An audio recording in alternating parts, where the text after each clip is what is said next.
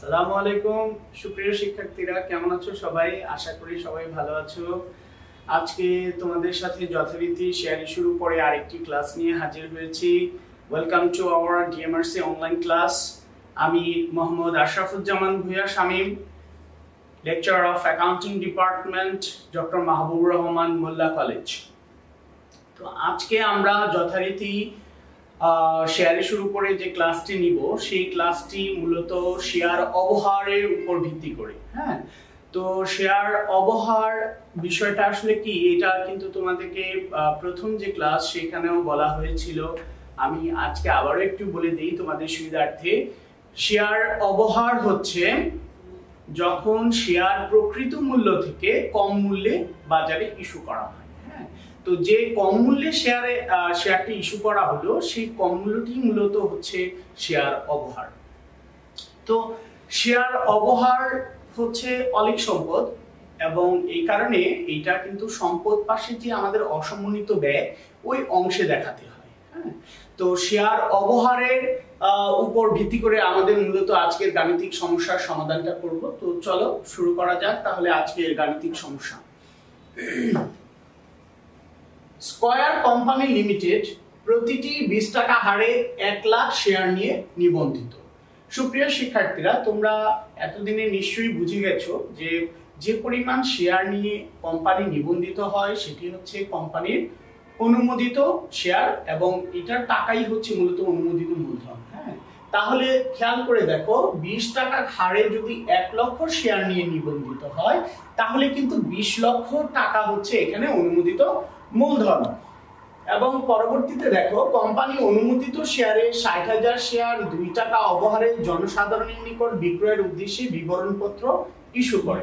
তাহলে সুপ্রিয় শিক্ষার্থীরা, এই জায়গায় একটা বিষয় খেয়াল করো, এখানে কিন্তু বলা হয়েছে ষাট হাজার শেয়ার বাজারে ইস্যু করা হয়েছে। এবং শেয়ার কিন্তু দুই টাকা অবহারে, তার মানে দুই টাকা কম মূল্যে তুমি বাজারে বিক্রি করছ। তো দশ বিশ টাকা যদি তোমার শেয়ারের মূল্য থাকে, লিখিত মূল্য, সেখান থেকে তুমি দুই টাকা কমে বিক্রি করছ। হ্যাঁ? তাহলে তুমি কিন্তু যখন আবেদনের মাধ্যমে টাকা পাবা, তখন কিন্তু আঠারো টাকা করে পাবা। কারণ কি? কারণ বিশ টাকার মধ্যে তুমি দুই টাকা কমে বিক্রি করছ। তো দুই টাকা যদি কমে বিক্রি করো, তাহলে কিন্তু আঠারো টাকা করে তুমি আবেদনের টাকা পাবে। পরবর্তীতে খেয়াল করো কোম্পানি ইস্যুকৃত শেয়ার অপেক্ষা দশ হাজার শেয়ার কম আবেদন পেল।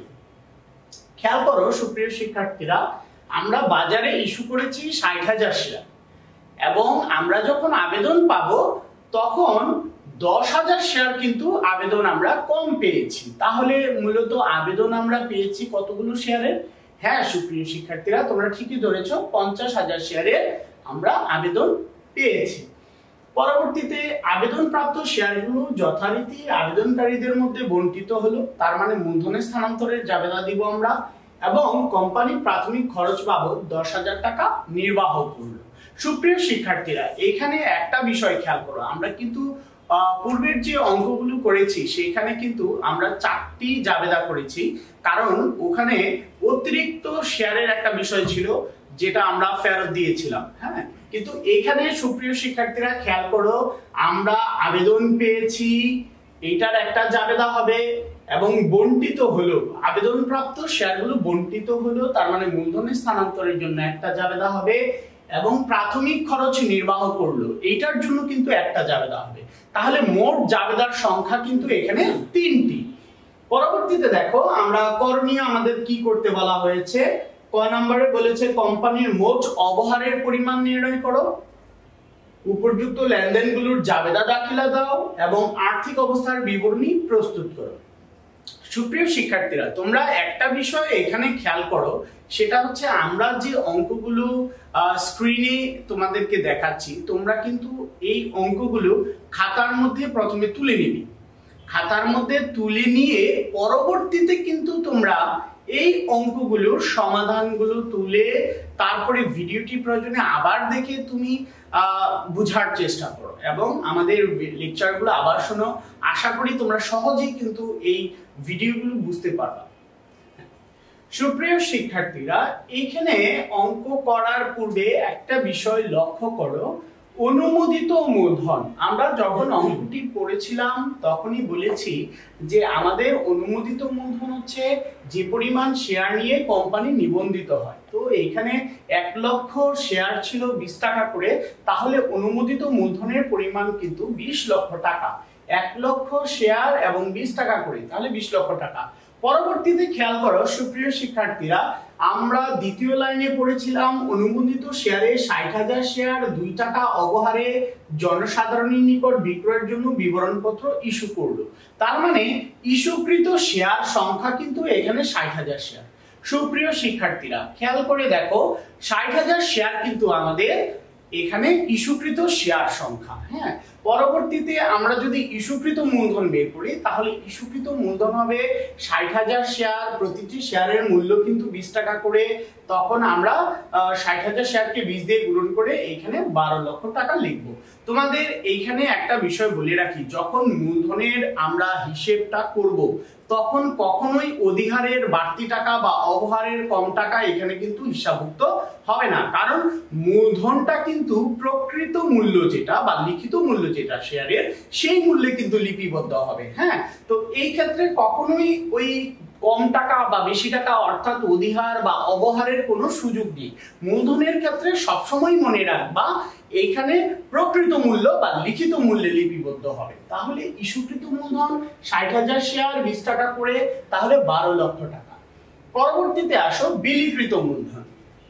সুপ্রিয় শিক্ষার্থীরা, আমরা বিলিকৃত মূলধন সম্পর্কে যেটা জেনেছিলাম বিলিকৃত মূলধন হলো যে পরিমাণ শেয়ার আবেদনকারীদের মধ্যে বন্টন করা হয়, সেটাই হচ্ছে মূলত বিলিকৃত মূলধন। তাহলে একটা বিষয় খেয়াল করে দেখো, সুপ্রিয় শিক্ষার্থীরা, মনোযোগের সাথে দেখো, আমরা বাজারে ইস্যু করেছিলাম ষাট হাজার শেয়ার সেইখান থেকে আমরা দশ হাজার শেয়ার কিন্তু আবেদন কম পেয়েছিলাম। তাহলে দশ হাজার শেয়ার যদি তুমি আবেদন কম পাও, তাহলে তুমি কিন্তু এখানে ষাট হাজার শেয়ার বাজারে বিক্রি করতে পারবে না। তোমার এখানে আবেদনের সংখ্যাই হচ্ছে পঞ্চাশ হাজার শেয়ার তাহলে তুমি জনসাধারণের নিকট বা শেয়ার হোল্ডারদের নিকট কিন্তু পঞ্চাশ হাজার শেয়ার পর্যন্ত তোমার বিক্রি করতে হবে। তাহলে এই ক্ষেত্রে খেয়াল করো, আমাদের বন্টনকৃত শেয়ার সংখ্যা কিন্তু পঞ্চাশ হাজার শেয়ার হ্যাঁ কারণ ষাট হাজার শেয়ারের মধ্যে আমরা দশ হাজার আবেদন কম পেয়েছি। তাহলে বন্টনকৃত শেয়ার সংখ্যা যেহেতু পঞ্চাশ হাজার শেয়ার, তাহলে বন্টনকৃত মূলধন মানে বিলিকৃত মূলধন হবে পঞ্চাশ হাজার শেয়ার, বিশ টাকা করে মূল্য, তাহলে দশ লক্ষ টাকা। এই ক্ষেত্রে বিলিকৃত মূলধন কিন্তু ইস্যুকৃত মূলধন থেকে আলাদা হয়ে গেল। হ্যাঁ এটা কিন্তু মনোযোগ দিয়ে খেয়াল করো। ইস্যুকৃত মূলধন ছিল ষাট হাজার শেয়ার, ইন্টু বিশ টাকা, বারো লক্ষ টাকা, আর বিলিকৃত মূলধন হচ্ছে পঞ্চাশ হাজার শেয়ার বিশ টাকা করে গুণন তাহলে দশ লক্ষ টাকা। সুপ্রিয় শিক্ষার্থীরা, পরবর্তীতে খেয়াল করো, আদায়কৃত মূলধন। আমরা একটা বিষয় প্রথম থেকেই বলে আসছি, সেটা হচ্ছে যে বিলিকৃত মূলধন এবং আদায়কৃত মূলধন এটা কিন্তু একই হয়। কারণ আদায়কৃত মূলধনের ক্ষেত্রে যে বকেয়ার বিষয়টা, এখানে কিন্তু বকেয়ার বিষয়টা নাই। বিলিকৃত যে পরিমাণ শেয়ার হয়, সেই পরিমাণ শেয়ারের টাকাই কিন্তু আদায় হয়ে যায়। যার কারণে বিলিকৃত মূলধন এবং আদায়কৃত মূলধন কিন্তু সমান হবে হ্যাঁ? তাহলে পঞ্চাশ হাজার শেয়ার বিশ টাকা করে, তাহলে এখানে কিন্তু দশ লক্ষ টাকা হচ্ছে আদায়কৃত মূলধন। পরবর্তীতে খেয়াল করো, আবেদনকৃত, এখানে আমাদের আবেদনকৃত শেয়ার সংখ্যাটা দেখানো হয়েছে। ষাট হাজার শেয়ার থেকে আমরা দশ হাজার শেয়ার আবেদন কম পেয়েছি। তাহলে আমাদের আবেদনকৃত শেয়ার সংখ্যা কিন্তু পঞ্চাশ হাজার শেয়ার এবং আরেকটা বিষয় আমাদের এখানে খেয়াল করতে হবে শেয়ার প্রতি অধিহার, অবহার। শেয়ার প্রতি অবহার কিন্তু আমাদের এখানে দুই টাকা। কীভাবে? বিশ টাকার থেকে আমরা দুই টাকা অবহারে জনসাধারণের নিকট ইস্যু করতেছি। তাহলে শেয়ার প্রতি অবহার দুই টাকা করে। পরবর্তী পর্যায়ে দেখো, সুপ্রিয় শিক্ষার্থীরা, আমরা যদি সৃজনশীল অংশ সমাধানের দিকে তাকাই, তাহলে আমরা কি দেখি? সৃজনশীল অংশে আমরা ক নাম্বারে আমাদের প্রশ্ন চাওয়া হয়েছিল, মোট শেয়ার অবহারের পরিমাণ হ্যাঁ? তাহলে মোট যদি শেয়ার অবহারের পরিমাণ নির্ণয় করতে হয়, তাহলে আমাদের একটা বিষয় কিন্তু খেয়াল করতে হবে, সেটা হচ্ছে আমরা কিন্তু বাজারে ইস্যু করেছিলাম ষাট হাজার শেয়ার হ্যাঁ? কিন্তু আবেদন পেয়েছি পঞ্চাশ হাজার শেয়ার। তাহলে আমাদের সমস্ত কাজ, সমস্ত ক্যালকুলেশন কিন্তু পঞ্চাশ হাজার শেয়ারকে কেন্দ্র করে হবে। কারণ কি? কারণ হচ্ছে আমরা কিন্তু বাজারে ষাট হাজার শেয়ার বিক্রির উদ্দেশ্যে বিবরণপত্র প্রচার করলেও সাধারণ জনগণ কিন্তু পঞ্চাশ হাজার শেয়ার কিনেছে হ্যাঁ? তাহলে পঞ্চাশ হাজার শেয়ারে কিন্তু আমি বাজারে বন্টন করেছি এবং জনসাধারণের নিকট থেকে কিন্তু টাকা আদায় করেছি। তাহলে পঞ্চাশ হাজার শেয়ারকে নিয়ে আমরা কাজ করব। তাহলে মোট শেয়ার অবহারের পরিমাণ হবে পঞ্চাশ হাজার শেয়ার আর যেহেতু বলা হয়েছিল দুই টাকা করে অবহার, তাহলে এইখানে দুই টাকা করে দিই যদি গুণন করি আমরা, তাহলে এক লক্ষ টাকা হচ্ছে আমাদের মোট শেয়ার অবহার। সুপ্রিয় শিক্ষার্থীরা, এইখানে কিন্তু একটা বিষয় তোমরা খেয়াল রাখবা। প্রশ্নে অনেক সময় শেয়ার প্রতি অবহার এভাবে চাইতে পারে, অথবা মোট অবহারের পরিমাণ এভাবেও চাইতে তো তোমার এই ক্ষেত্রে খেয়াল রাখতে হবে, যদি শেয়ার প্রতি অবহার চায়, তাহলে প্রতি শেয়ারে অবহারের টাকাটা তোমার লিখতে হবে। আর যখন মোট অবহারের পরিমাণ জানতে চাইবে, তখন মোট অবহারের পরিমাণ কিন্তু তোমার লিখতে হবে হ্যাঁ? তাহলে মোট অবহার এখানে পঞ্চাশ হাজার শেয়ার দুই টাকা করে এক লক্ষ টাকা।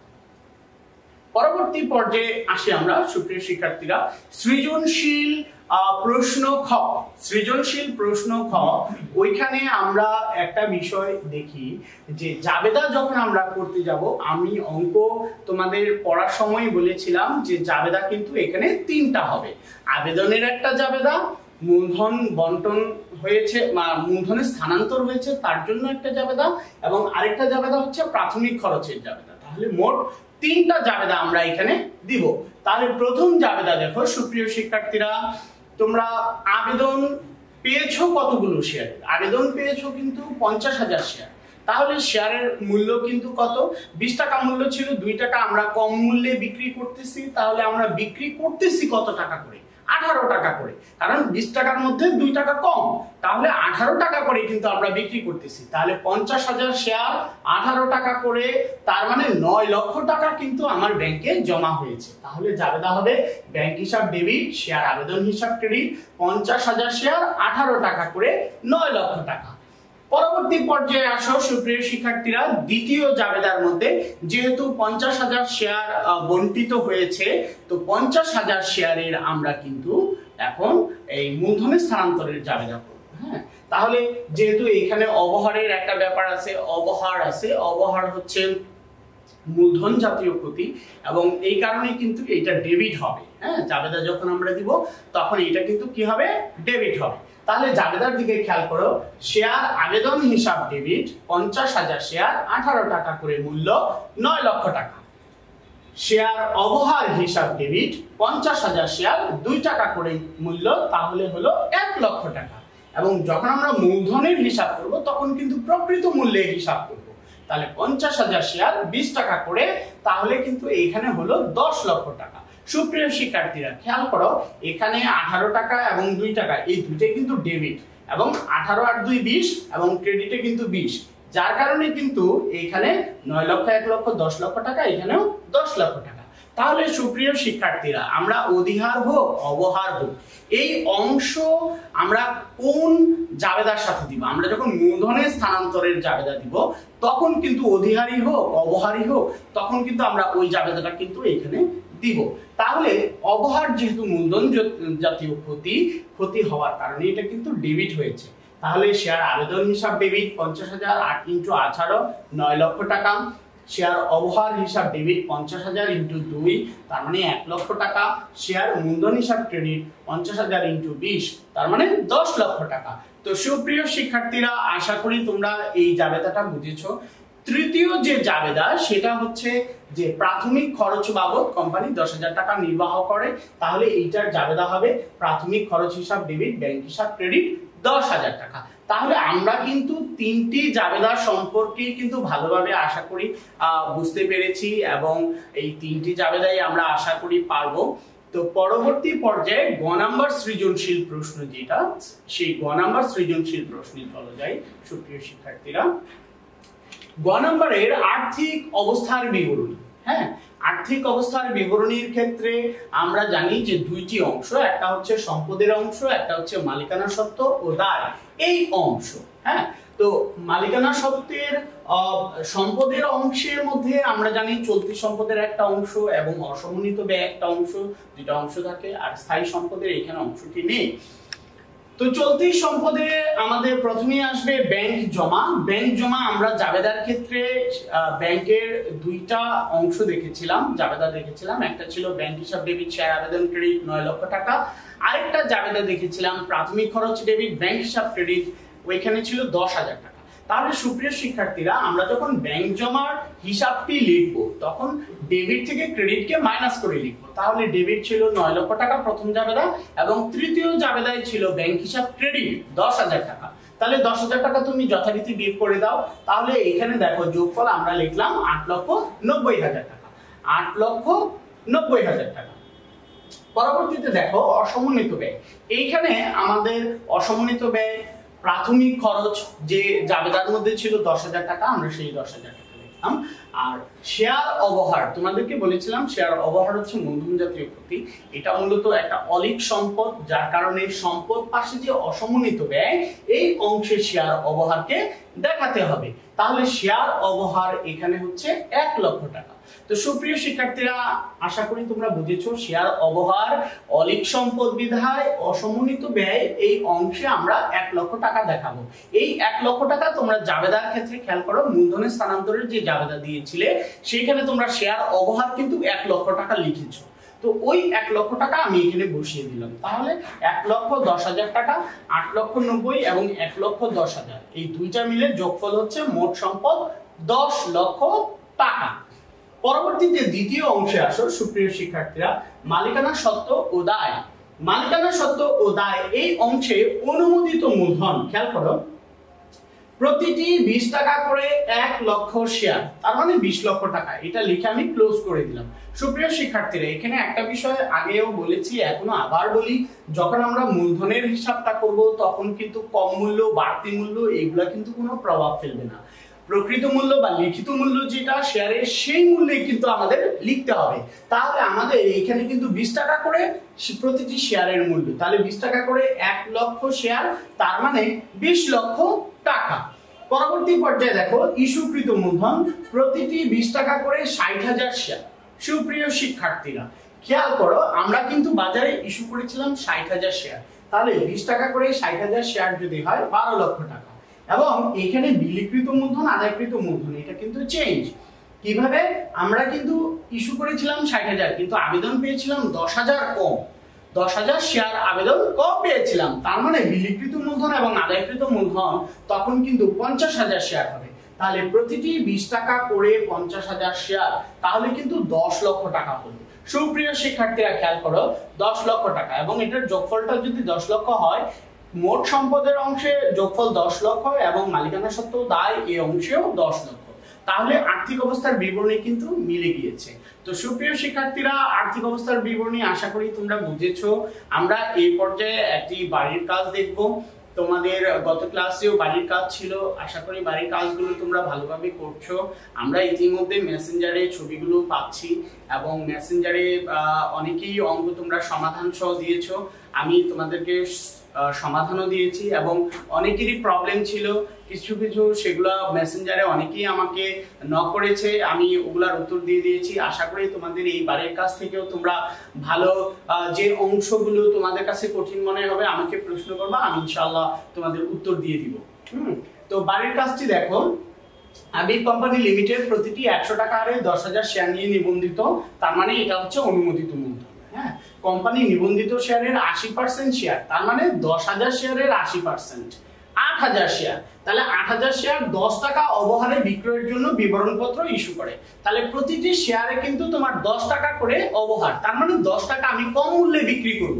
তাহলে একশো টাকার মধ্যে আমি দশ টাকা কম মূল্যে যদি বাজারে বিক্রি করি, তাহলে আমি যখন আবেদন পাবো, তখন কিন্তু ব্যাংকে জমা হবে নব্বই টাকা করে। কারণ একশো টাকার মধ্যে আমি দশ টাকা কিন্তু পাচ্ছি না, দশ টাকা কম পাচ্ছি। তাহলে নব্বই টাকা করে পাবো পরবর্তী পর্যায়ে দেখো, ইস্যুকৃত শেয়ার অপেক্ষা এক হাজার শেয়ার বেশি আবেদন পাওয়া গেল। আমি বাজারে ইস্যু করেছি আট হাজার শেয়ার কিন্তু আবেদন পেয়েছি কিন্তু নয় হাজার শেয়ার হ্যাঁ তো এই ক্ষেত্রে কিন্তু অতিরিক্ত এক হাজার শেয়ার আছে। তাহলে আমি যখন আবেদন পাবো তখন নয় হাজার শেয়ার মূল্য হবে কিন্তু নব্বই টাকা করে। নয় হাজার শেয়ার নব্বই টাকা করে গুণন দিয়ে তারপরে লিখবা ব্যাংক হিসাব ডেবিট শেয়ার আবেদন হিসাব ক্রেডিট পরবর্তী পর্যায়ে ইস্যুকৃত শেয়ারের সমপরিমাণ শেয়ার যথারীতি বন্টন করা হলো। তার মানে মূলধনের স্থানান্তরের জাবেদা যদি আমরা করি, তো মূলধনের স্থানান্তরের জাবেদা আমরা যদি করি, তাহলে জাবেদা করব শেয়ার আবেদন হিসাব ডেবিট নয় হাজার আট হাজার শেয়ার কত করে? এখানে দাম হচ্ছে নব্বই টাকা করে। আট হাজার শেয়ার নব্বই টাকা করে ডেবিট হবে পরবর্তীতে শেয়ার অবহার হিসাব ডেবিট আট হাজার শেয়ার কত করে? দশ টাকা করে। তাহলে আশি হাজার টাকা লিখবা এবং শেয়ার মূলধন হিসাব ক্রেডিট হবে তোমার কত? আট হাজার শেয়ার একশো টাকা করে। হ্যাঁ? মূলধনে কিন্তু পুরো একশো টাকাই হবে। তো পরবর্তীতে খেয়াল করো, আমরা অতিরিক্ত শেয়ারের যদি আবেদন দিই শেয়ার আবেদন ডেবিট ব্যাংক ক্রেডিট এখানে হবে এক হাজার শেয়ার নব্বই টাকা করে আমি কিন্তু ফেরত দিয়ে দিব। কারণ আমরা যেহেতু আবেদন গ্রহণ করেছি নব্বই টাকা, ফেরত দেওয়ার সময় কিন্তু নব্বই টাকাই ফেরত দিব। এবং কোম্পানি অবলেখকের কমিশন বাবদ যে দশ হাজার টাকা, এই অবলেখকের কমিশনের জাবেদা হবে, অবলেখকের কমিশন ডেবিট এবং ব্যাংক ক্রেডিট দশ হাজার টাকা। তো আশা করি তোমরা জাবেদাগুলো বুঝতে পেরেছ। মোট অবহারের পরিমাণ যেহেতু চেয়েছে, তাহলে আট হাজার শেয়ার যেহেতু আমি জনগণের কাছে ইস্যু করছি, আট হাজার শেয়ার গুণন হবে দশ টাকা করে আশি হাজার টাকা হচ্ছে মোট অবহারের পরিমাণ। জাবেদা করবে এবং আর্থিক অবস্থার বিবরণী সম্পদ অংশ করবে, মালিকানা সত্ত্ব দায় অংশ করবে। আশা করি তোমরা বাড়ির কাজটি করতে পারবে। তো তোমরা ভালো থাকো, সবাই সুস্থ থাকো, বাসায় থাকো এবং অঙ্ক যেগুলো আমরা প্রতিদিন করাচ্ছি, দিচ্ছি, সেই অঙ্কগুলো তোমরা সুন্দরভাবে করো। এই আশাবাদ ব্যক্ত রেখে আজকের অনলাইন ভিত্তিক ক্লাস শেষ করছি। আল্লাহ হাফিজ। আসসালামু আলাইকুম।